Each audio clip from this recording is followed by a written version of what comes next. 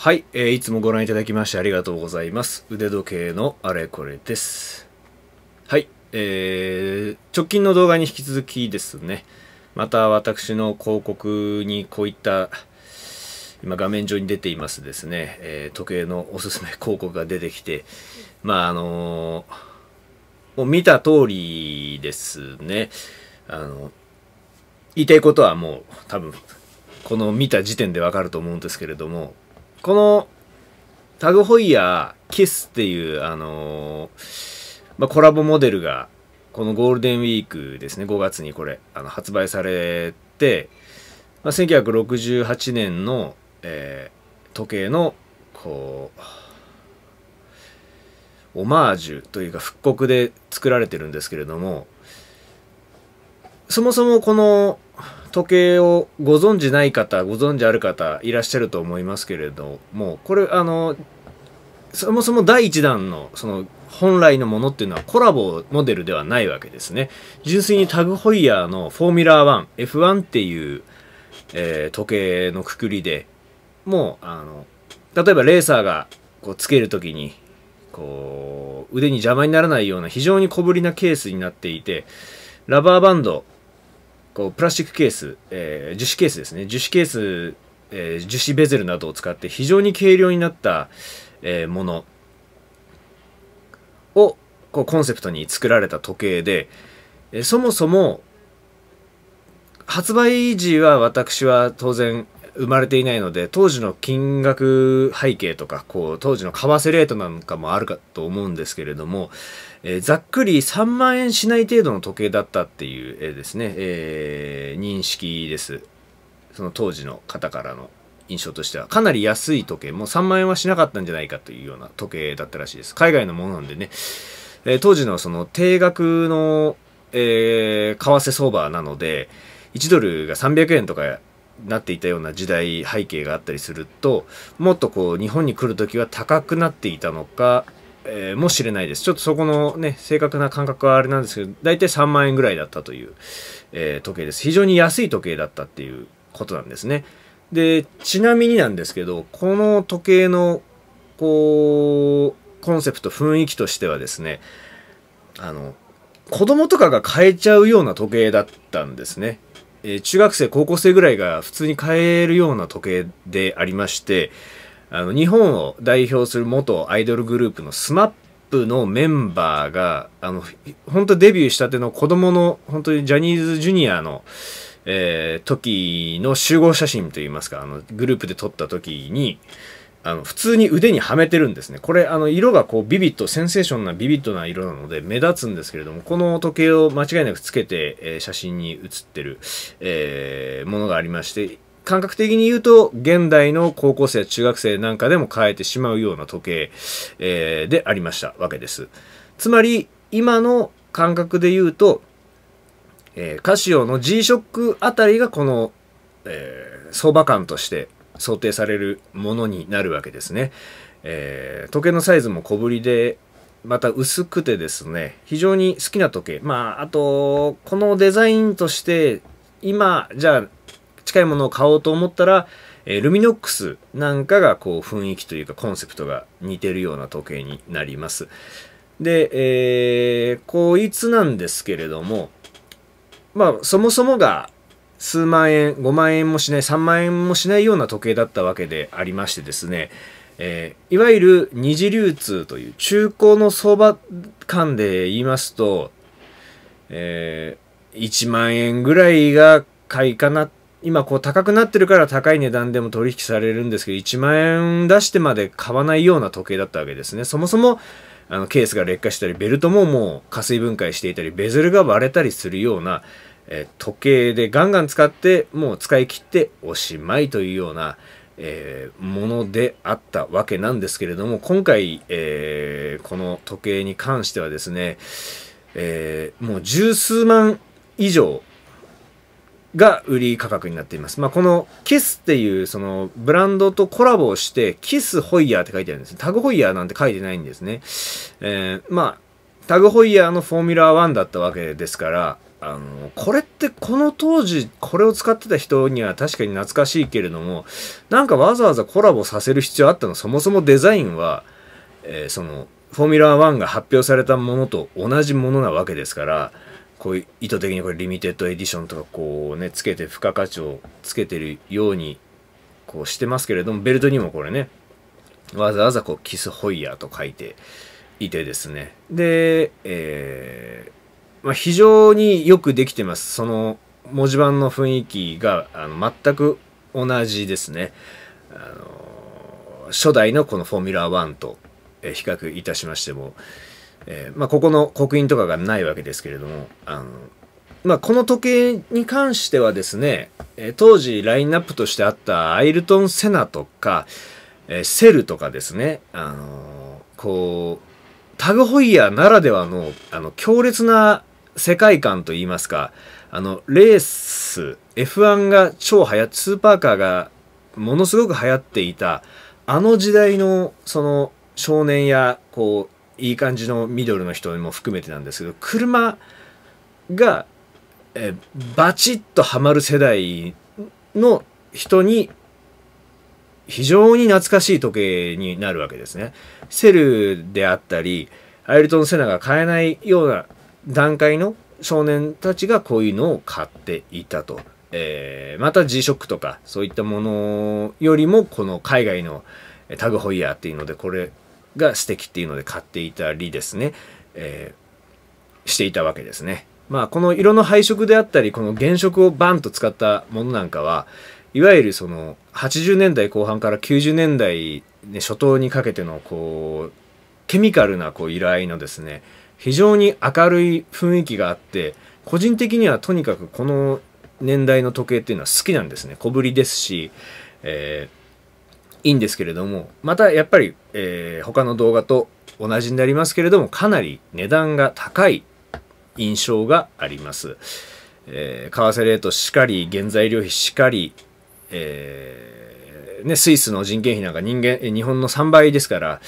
え当然人件費などしかりなんですけれども、非常に高い。プラス、やはりですね、どの時計もそうなんですけども、限定モデルつけてこう昔の復刻させて、転売ヤーが買いまくっちゃってですね、あのー、実際、先ほど二次流通のですね、個人のこの通販サイト、えー、フリマサイトなどを見ましたところ、倍額以上30万円ぐらいで出品されていて何個かこう売れたりしてる実痕跡もあるんですね。マッチポンプみたいに仲間でやってその販売履歴さえ残っちゃえばこれで買うんだみたいなのはね皆まで言う必要はないんですけれども、えー、実際お客さんが買ってるのかこうマッチポンプでこう売れた履歴を残して相場感を意図的に作っているのかまでは言及、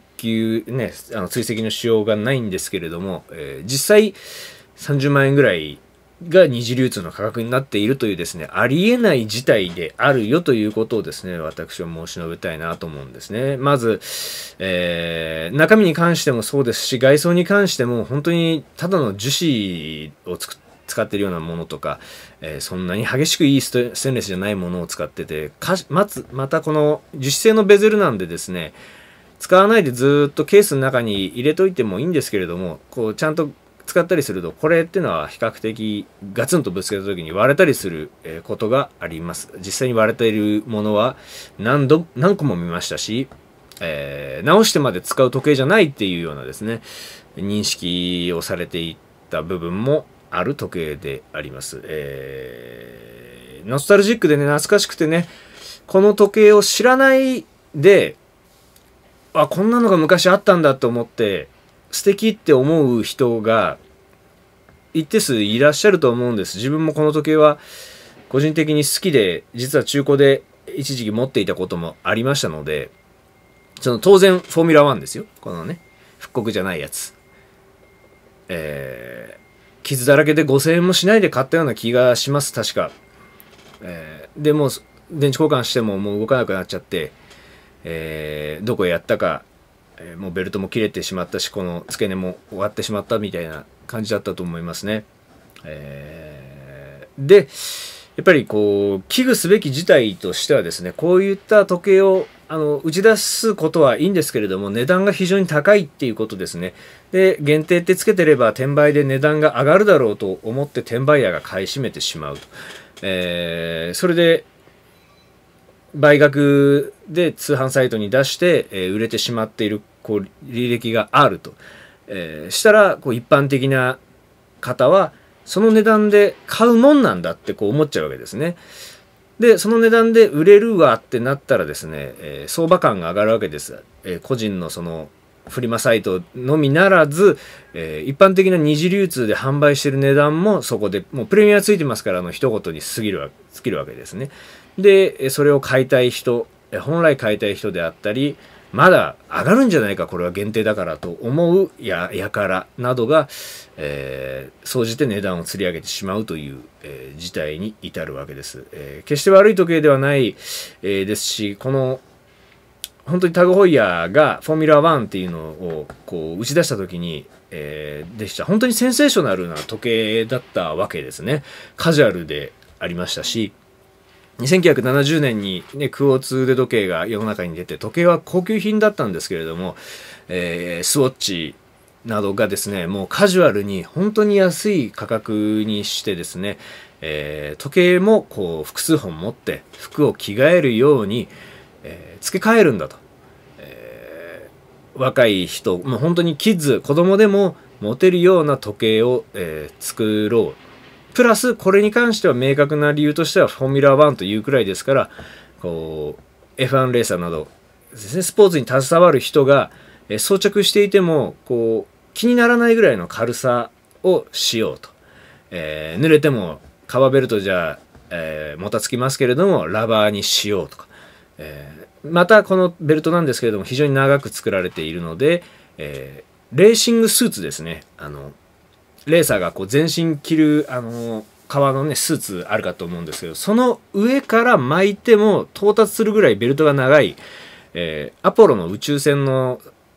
ね、ナイロンベルトと一緒なんですけれども、こう、服の上から巻くっていうようですね、えー、ニーズにも応えられているものであったわけでございます。えー、このタグホイヤーフォーミュラー1ですね。うん、これに関しては、また、うん、こう実際値段見てみますとですね、うん、失礼しました。20万円になってますね。うん、高すぎる。えー、高すぎるんですね。えー、コラボしてるカラーだと思います。うん非常に再現性は高いです。このベルトの、あのー、モチーフとですね、えー、このケースに関しても、えー当時のものを、えそのまま忠実に再現しているのは間違いないです。えー、だけあって極めて、えー、悲しい値段背景だなというところになりますね。うん。また、あと、これね、コラボしてほしくなかったですね。これなんかわけわかんないコラボ。純粋に復刻として出せばいいのに、これなぜコラボをしたのかと。えー、コラボをすることによって、えー、何かメリットがあったのかなと逆に思ってしまいますね。その、うん。だってロゴが違うわけですから、ここ。タグホイヤーって書いてあるべきものが、ね、この辺も違うわけですから、うん。まあ、これを一発目で出して、そのまましれっと定番化させて、させようかしてるのかは定かではないですけれども、あの、そうですね、こう、コラボ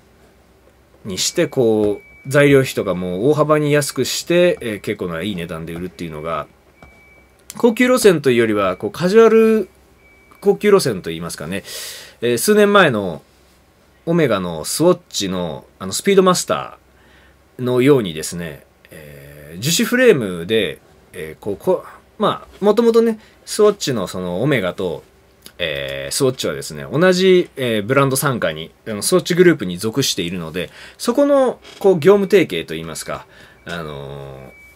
ー、コラボとしてはあり、ありと言いますか、その時計としてね、えー、スウォッチでこうスピードマスターを再現するっていうですね、面白い試みがこうあったわけですね。ちょっとこのキスっていうこのブランドとここ存じ上げてないんですけど、これは LVMH のグループなんですかね。だとしたら、まあ、その、版権としては利用しやすいと思います。あの、ルイ・ヴィトン・モエ・ヘネシーですね。LVMH。えー、あの、時計三大メゾンのうちの一つになります。えー、それも以前の動画で、え、どこかで話してるかと思うんですが、装置グループとなど大きなグループがその時計を、え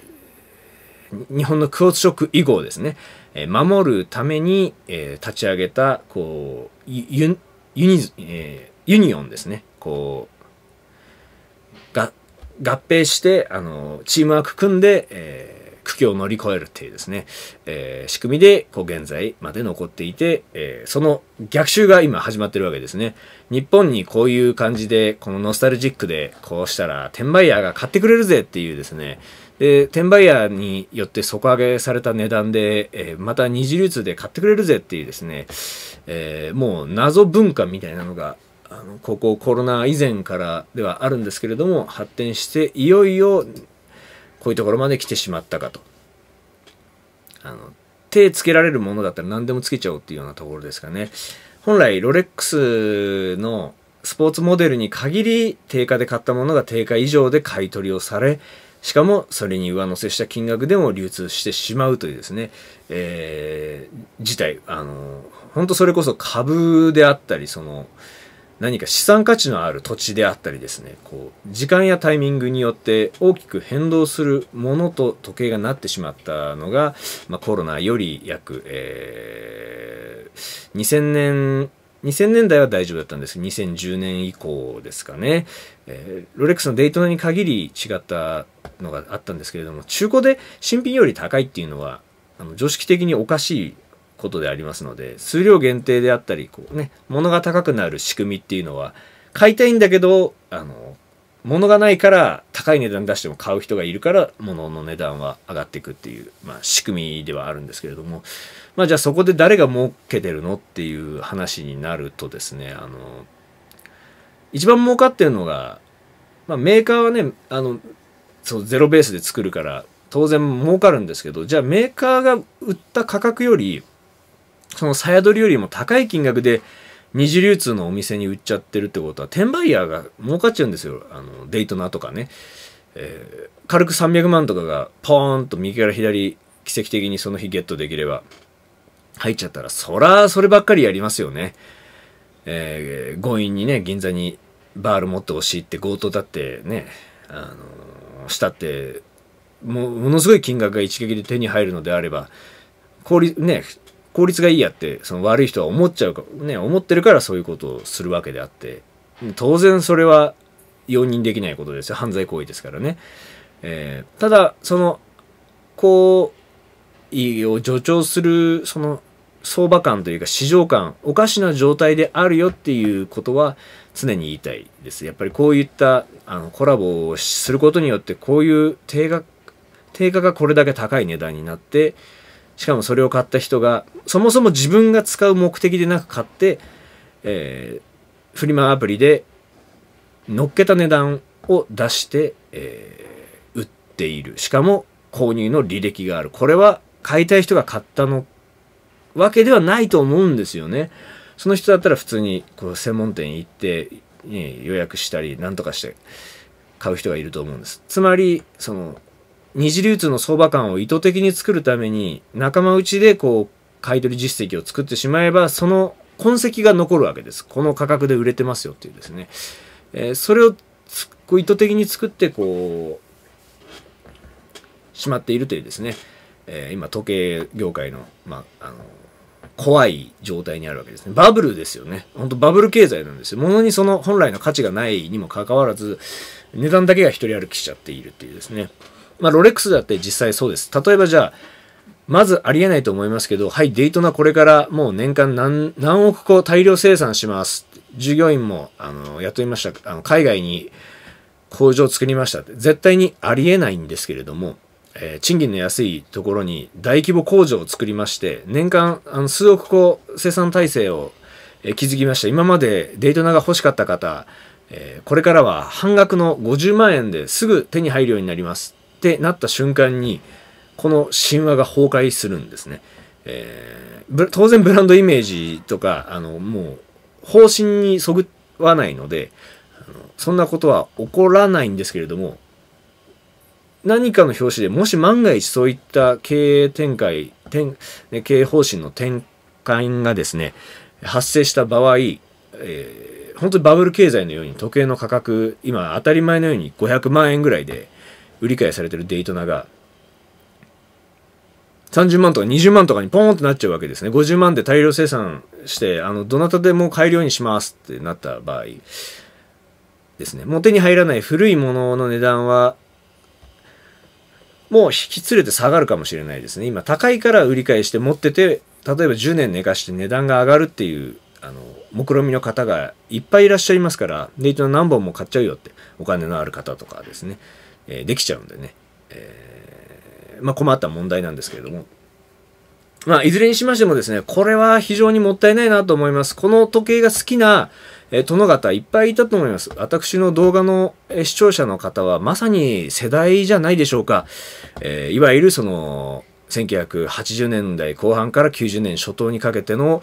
えスーパーカーブームですね。F1 のあのブーム、アイルトン・セナーであったり、そういった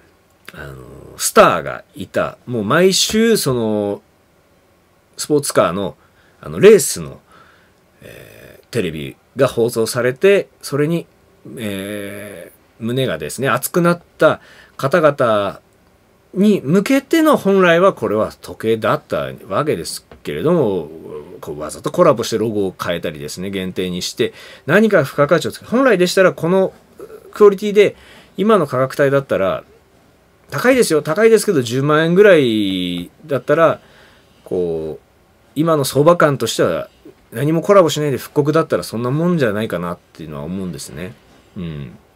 コラボつけてもよりもうもう10万乗っけて限定だってここに刻印を打ってまた二次流通を上げるっていうですね縮図が凝縮されたような、えー、時計だと思います。あのー当時この時計が好きだったり、レースが好きだった人への何かこう、ちょっと裏切りのような感じが私はしてならないですね。うん。なんでコラボしたのってことなんですよね。復刻なら復刻でいいのにって、うん、いう、えー、気持ちにつきます。えー、今日はこの辺で、えー、動画を上げ、えー、終わらせていただきます。また、こういですね、あのー、一言言いて、物を申したい時計っていうのがですね、あの、次から次へと今、広告に出てきてですね、あの話したいことがいっぱいありますので、えー、また動画アップしていきます。では、この辺で失礼いたします。